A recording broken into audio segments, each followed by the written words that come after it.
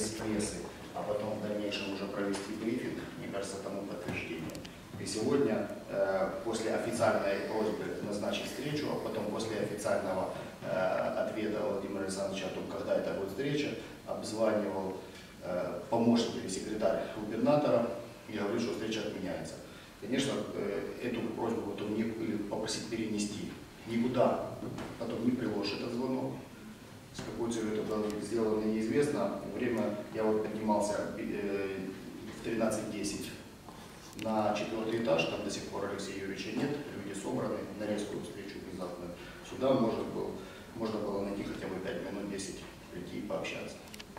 И могу сказать, что те люди, которые очень лояльные к областной государственной администрации из фракции, они точно так же по просьбе областной государственной администрации не пришли на эту встречу, потому что им было известно, встречи.